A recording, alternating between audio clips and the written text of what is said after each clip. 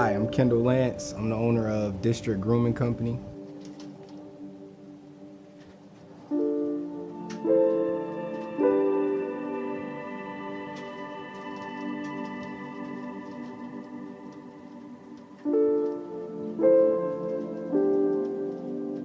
I think it all starts off with being a barber.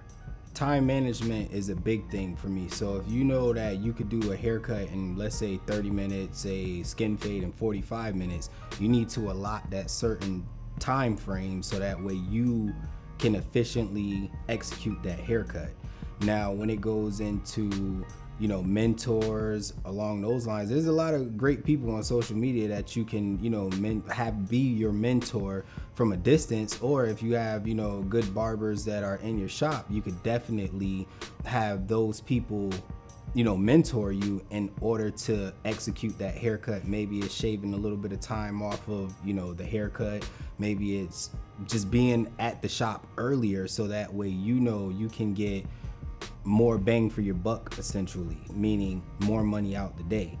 Um, there's a work-life balance for me. So i always believe that if you have time management you can manage your time well if that makes any sense. Now when it goes into mentorship i like mentorship personally because i have a few mentors that i watch from afar.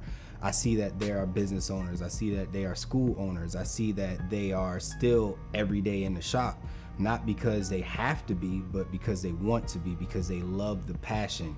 So for me, that's something where it's like, oh, okay, I like what you're doing, so I'm going to either mimic you or maybe take bits and pieces from what you're doing in order to implement it in my journey to get to my next level of success.